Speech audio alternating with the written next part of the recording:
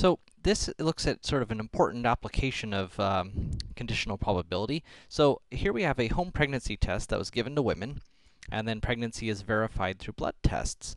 Um, and then this table shows the um, home test result up here, and then whether they're actually pregnant or not down here. So we're going to compute two different conditional probabilities. First, the probability that they're not pregnant given that they have a positive test result. So this is, you know, you have a positive test result, uh, and then what's the likelihood that you're not actually pregnant? So, so here, we're given that we have a positive test result, so we're limiting ourselves to these 75 people, uh, and of them, 5 are not pregnant, uh, and that's about 6.7%. Uh, so there's about a 6.7% chance here uh, that they're that this person is not actually pregnant, uh, given that they have a positive test result.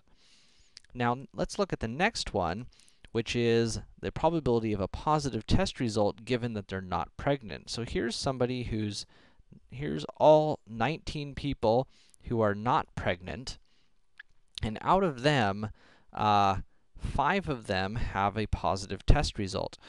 Uh, so this is what's called a false positive. This is when somebody who doesn't actually have the condition um, gets a positive result anyway, so it's an accidental positive result.